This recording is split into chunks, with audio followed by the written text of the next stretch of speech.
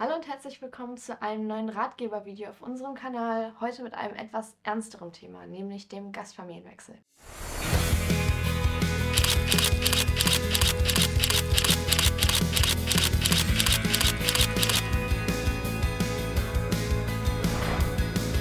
Man träumt ja immer von der perfekten Gastfamilie, aber das ist leider nicht immer der Fall. Manchmal passiert leider das Gegenteil und man fühlt sich zum Beispiel gar nicht wohl. Äh, was macht man denn in diesem Fall?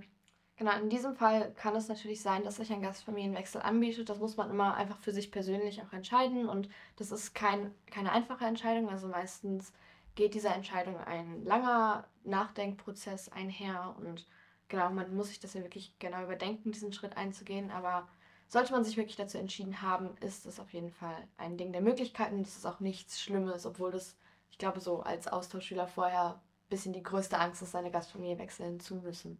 Das stimmt. Und bei manchen Orgas ist es äh, sogar so, dass du irgendwie eine gewisse Zeit lang warten musst, bevor du überhaupt wechseln darfst. Also irgendwie, äh, dass du zwei Monate abwarten musst, ähm, bevor deine Orga sagt, okay, jetzt können wir vielleicht mal schauen, ob du wirklich wechseln musst. Ähm, genau, und dann helfen die dir natürlich auch.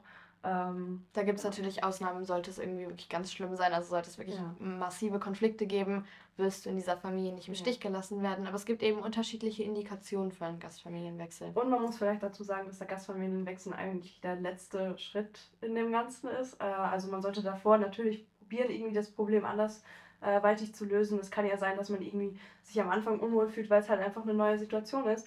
Ähm, aber man sich dann an, halt irgendwann einlebt oder irgendwie, dass es Unstimmigkeiten gibt und man die dann aussprechen kann. Und ähm, Genau. Kommunikation ist auf jeden Fall sehr wichtig in diesem Fall.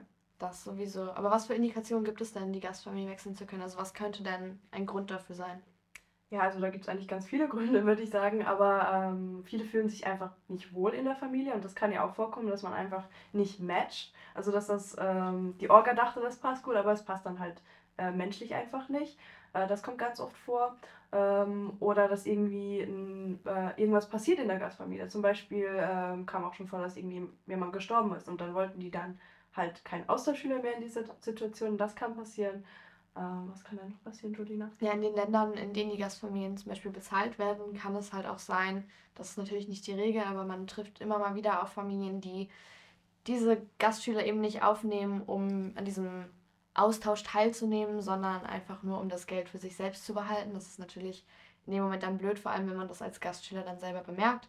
Äh, das ist dann auch oft ein Grund. Oder wenn einfach generell Dinge passieren im Haus, die nicht passieren sollten. Also wenn du zum Beispiel gewisse Dinge nicht nutzen darfst, wenn für dich nicht hinreichend gesorgt wird, Ja. wenn sie dich nicht, äh, wenn sich die Gastfamilie nicht so um dich kümmert, wie sie es als Legal Guardian in diesem Moment tun sollten, dann weißt du meistens, dass es vielleicht Zeit ist für einen Gastfamilienwechsel. Und was dabei auch oft hilft, ist, wenn du einfach erstmal mit Leuten, also mit anderen Leuten auch darüber sprichst. Wenn du Austauschschülerfreunde hast, kannst du die ja zum Beispiel fragen, wie es bei denen in der Familie ist. Wenn dir irgendwas Mhm. komisch vorkommt in deiner Familie, kannst du ja fragen, hey, ist das bei dir genauso oder bin ich alleine damit, dass was auch immer Genau. passiert oder du sprichst mit deinen Eltern, mit Freunden äh, und so weiter darum. Und wenn die dann merken, dass vielleicht Dinge nicht so laufen, wie sie sollten, dann werden sie dir das ja wahrscheinlich auch sagen. Ja. Und viele Dinge sind halt einfach Teil eines Auslandsjahres. Und das merkt man dann halt erst, wenn man im Auslandsjahr ist und denkt sich ja vielleicht am Anfang so, hm, ist das wirklich normal? Aber genau. Wieder hier, Kommunikation ist sehr wichtig. Und wenn man sich dann irgendwie so innerlich dazu entschlossen hat, die Gastfamilie wechseln zu wollen, wie geht man dann davor? Ich würde immer als erstes vielleicht mit Freunden reden, wie du schon meintest. Dann mit meiner Local Coordinatorin, weil die ist ja eigentlich von der Orga für dich zuständig und äh, die sollte dir dann eigentlich in dem Fall helfen. Ähm, und vielleicht dann erst mit deinen Eltern zu Hause. Also ich weiß nicht, also so hat man mir das halt gesagt, dass man da warten sollte irgendwie, weil die machen sich dann irgendwie unnötig Sorgen. Ähm, aber das könnt ihr natürlich dann selbst entscheiden, aber so würde ich es empfehlen. Kommt ja auch so ein bisschen auf die Situation Genau. drauf an. Also wenn eure Eltern mitbekommen, dass es euch schlecht geht Ja. und euch dann zum Beispiel vorschlagen, dass es vielleicht besser wäre, in die Gastfamilie zu wechseln, was ja. Ja. auch sein kann, dann haben sie das natürlich mitbekommen. Aber die Local Coordinatorin oder der Local Coordinator ist auf jeden Fall die Person des Vertrauens in diesem Moment, die ihr Genau. ansprechen solltet, falls ihr die Gastfamilie wechseln wolltet. Und dann bekommt ihr meistens so ein Formular. Äh, das müsst ihr dann ausfüllen. Da steht dann, müsst ihr auch manchmal so Gründe angeben, weil wenn es schwerwiegendere Gründe sind, kann es ja auch sein, dass eure Gastfamilie dann von der von dem Amt sozusagen, was die betreut, nochmal überprüft Mhm. wird, dass gewisse Dinge ja nochmal nachgeschaut werden. Und dann wird eben nach einer neuen Familie für euch gesucht. Manchmal ergibt sich da was über Freunde oder sowas in der Schule. Vielleicht wisst ihr von jemandem. Sogar sehr oft. ja, genau. Also vielleicht wisst ihr von jemandem, wo ihr dann einziehen könnt. Das bietet euch jemand an. Ansonsten wird eben über die Behörde nach weiteren Gastfamilien. Die Behörde, über die Orga. ja, aber das ist ja nicht die Orga, sondern das ist ja dann. Ja? Die Orga sucht nach einer neuen Familie. Aber es ist ja nicht die Orga zu Hause, sondern es ist ja dann im Gastland die. Ja, die Partnerorga. Die Partnerorga. ja, bei mir war es die Behörde.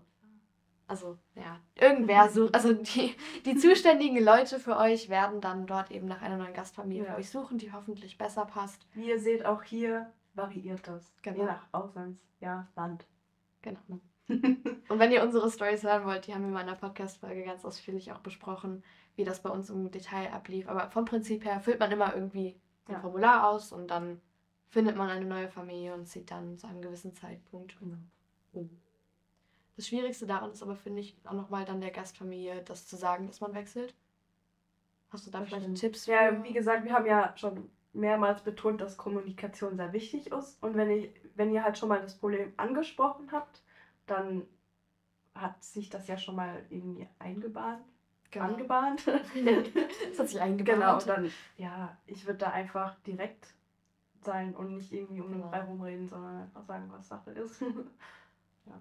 Ja, ist natürlich eine sehr unangenehme Situation ja. und das wünscht man an sich erstmal keinem Austauschschüler, aber ich glaube, die meisten von euch, die sich das jetzt vielleicht anschauen, haben ja vielleicht auch mal mit dem Gedanken gespielt, die mhm. Gastfamilie wechseln zu müssen und haben vielleicht ein paar Erfahrungsberichte angeschaut und letztendlich, was die Leute nach einem Gastfamilienwechsel immer sagen, ja. ist eigentlich, dass das die beste Entscheidung in ihrem Auslandsjahr war. wird es danach besser gehen. Genau, weil man muss sich ja auch überlegen, wenn man irgendwie für zehn Monate oder eine längere Zeitraum auch ein bisschen kürzer im Ausland ist, möchte man die nicht mit einer Familie verbringen, genau. bei der man sich nicht wohlfühlt, sondern dadurch, dass man da so lange wohnt, sollte man sich eben wohlfühlen und das muss einem immer im Kopf bleiben. Trotzdem gut überlegt. Vielen Dank, dass du dir dieses Video angeschaut hast. Wir hoffen, wir konnten dir etwas mit dem Thema weiterhelfen. Wenn du dich noch zu weiteren Auslandsthemen informieren möchtest, dann schau gerne auf unserer Website vorbei, denn dort findest du ganz, ganz viele andere Bereiche. Zum Beispiel Stipendien, die Exchange Community, unseren Orga-Vergleich, falls ihr den noch nicht kennt.